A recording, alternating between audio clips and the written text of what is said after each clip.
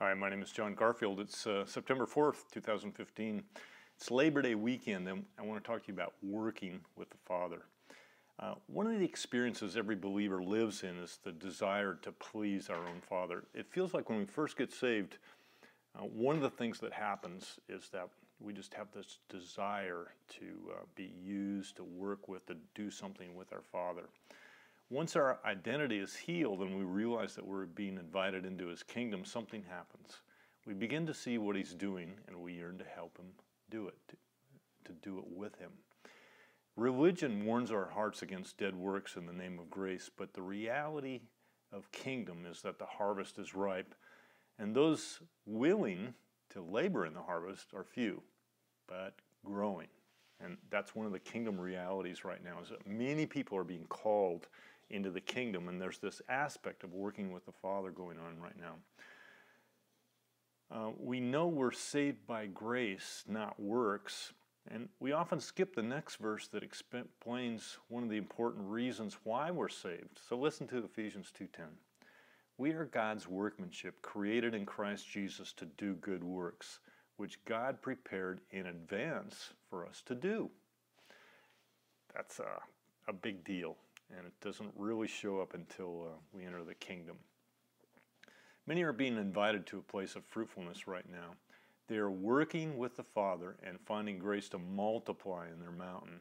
Many unsaved people are unwittingly working with their Father out of their hearts at some level and finding a relationship with Jesus later. Listen to John 4, verse 34. My food, said Jesus, is to do the will of him who sent me and to finish his work. 1 Corinthians 3, verse 9 For we are God's fellow workers, and you are God's field, God's building. In uh, John 14, 12 to 14, I tell you the truth, anyone who has faith in me will do what I have been doing work. He will do even greater things than these because I am going to the Father. And I will do whatever you ask in my name so that the Son may bring glory to the Father. You may ask me for anything in my name and I will do it. Where's the anointing? It's on your work, it's on your calling, it's in your mountain. Let me tell you a story. My dad, his name was Ford Garfield, uh, was born in 1913 and he was on a cattle ranch in Montana land he grew up on. Cowboys aren't generally noted for being spiritual, but God's fingerprint was very much on my on my dad and the way he trained me for this life. So this is one of many stories, and I hope you'll enjoy it. At seven or eight, I was a skinny little kid with a big toothy grin. I went with Dad the first time to feed the bulls. It was winter in Montana with a little snow on the ground. One of those quiet days when you can hear the bulls crunch the snow with each step.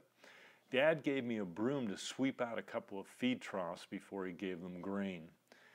That this was a job that I hadn't done before, and beneath a layer of snow was a layer of ice that I wasn't getting cleaned out. So Dad took the broom and showed me how to put a little elbow grease into it and get the trough properly cleaned out. And I was pretty anxious to please him. I think all sons have a deep desire to please their father. Anyway, the bulls got fed and we put things back in the pickup, and I took the initiative to shut the tailgate on his 59 Chevy half ton. It was a metal tailgate and a metal box uh, was on the pickup, and I was not about to be delicate with this next class task. So I slammed that tailgate as hard as I could, and Dad was admiring his bulls when the tailgate went off like a shotgun blast on that cold, clear day. And I remember he ducked and whirled around to see what the H happened. And when we got home, Mom was interrogating him about his first trip out with his son. And when she heard my dad's story of my sweeping and my tailgating, I overheard her response while pretending not to. And she said something I'll never forget. She said, Well, Ford, you'd never take him with you. And the conversation ended there. But from that day on, I had a permanent seat next to the cow dog in that Chevy pickup. And my father took me with him everywhere he went. He taught me how to work cows, pull calves, train horses, fix fence, irrigate, run machinery, shoot guns, and have fun doing it. He was a wonderful teacher who was only occasionally short on patience, as told by his colorful and then unsanctified vocabulary. In the second half of my teenage years, I resisted his authority on occasion, and instead of increasing his control, he simply cut me a wider swath and increased my responsibility. He was really a velvet covered brick. I never did lose the satisfaction of doing something well to please my father. And when I left the ranch for college, I knew that I was blessed with a special dad and a special upbringing that I wouldn't trade with anyone. I was saved by that time, and I had the wisdom to honor him and thank him personally and often. And it always felt good to me, and I believe it always felt good to him as well. The experience with my own father was really just a starting place for the real thing with Father God. Here are some of the ingredients. Number one, the kingdom is fun. Doing something with the Father is a spiritual experience. The desire to do it resides in our own hearts. And we're acutely aware that what is in our heart is even more cherished in the Father's heart. It's not obedience or sacrifice, it's fun. The resistance we do encounter feels more like a privilege to overcome than an insurmountable wall. There is warfare, there is demonic affliction. When you sign up for kingdom, you get a big target on your chest. But we're more than conquerors. We feel like we're more than conquerors, and, and as a result, we have the confidence that we will prevail. When we face problems or demonic encounters or, pro- or issues with people, we can say, My dad is bigger than your dad. We don't even have to say it to other people. Just knowing it is part of the power that gets us through. Second thing is it flows. The second experience is that we can somehow feel the wind of the Holy Spirit in our sails. There are divine appointments with those who can help us. Circumstances seem to align in our favor to form new opportunities, and the effect of our labor seems multiplied beyond our expectations. The third thing is it ministers. The things we put our hands to resonate with others. There's a prophetic tone in our words and deeds that others welcome and join.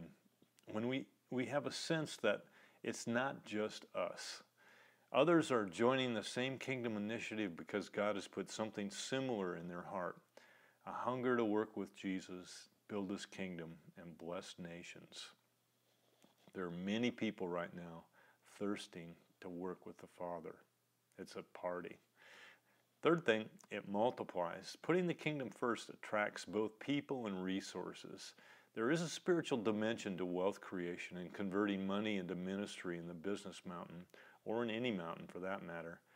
Getting someone else to pay for your dream via offerings isn't the way kingdom works. God is releasing an anointing to multiply the money that goes with the dream He put in our hearts. And that's part of the challenge. That's part of kingdom, is learning how to create wealth in a right way with right motives and the right results. The last thing, those works magnify the personal experience of all these factors coming together is real. The dream, the work, the anointing, the fruit. The result is that our work has kingdom significance to our Father. Excuse me. And becomes worship. There is a presence of God that goes with it. We can feel the Father being glorified in the process. And there's nothing sweeter to our hearts than turning work into worship in a way that blesses nations and brings glory to our Father. I want to encourage you that this, this idea of entering the kingdom, finding your mountain, and, and allowing yourself to work with your Father, to co labor with Him, to be part of His team, to be, in Hebrews 2, Jesus said, calls us brothers. In uh, John 15, He calls us friends. We're part of God's family, and it's His it's his, he calls us his precious people. It's his desire to work through us and to, uh, to multiply the fruit of our labor. I want, you, I want to encourage you to find your mountain and your land, and uh, you'll find the significance that God has put on your life when you do. Amen. Have a great week. Keep. Uh, we're going to Denver September 18th, and uh, to uh, the Netherlands, uh, Warsaw, Poland, and Paris, France uh, from October 5th to the 20th. Um, join with me in praying for those things. We're going to release some kings and have some parties. And uh, I'm excited about it. Amen. Have a great week.